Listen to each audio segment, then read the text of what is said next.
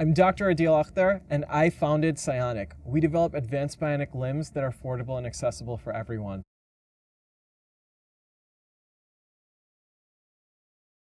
This is something I've wanted to do ever since I was seven years old. I was visiting Pakistan, and that was the first time I met someone with a limb difference, and she was my age, missing her right leg, using a tree branch as a crutch, living in poverty. And that's what inspired me to want to go into this field and make advanced bionic limbs that were affordable and accessible for everyone.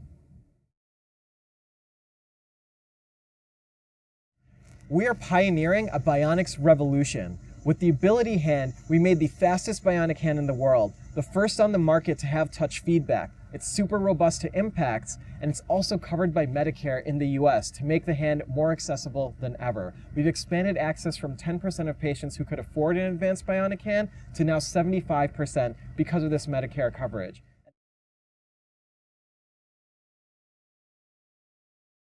The next big thing in bionics is going to be connecting these devices directly to your body. We are partnering with research institutions that are connecting our ability hand directly to your bones. We're working on fingers that are connected to your muscles and your tendons, and also nerve implants that can directly read your nerve impulses. So when you think about moving digits, your hand is actually going to respond and feel from it as well. This is the future that we're heading towards.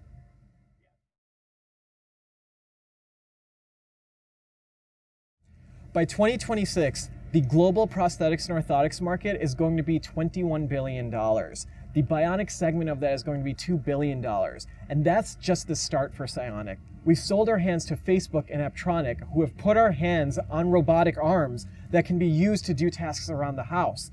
We're also partnering with institutions who are doing neural interfaces to control these hands directly from your mind and your muscles these markets are going to be growing by 12 to 14% over the next five years.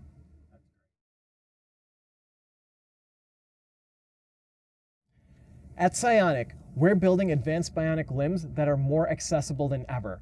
Come join our bionic revolution. It started with the ability hand, and we're expanding into other limbs, including our ability leg. And the future will be even more exciting with our research in humanoid robots and neural interfaces. We want you to be a part of that.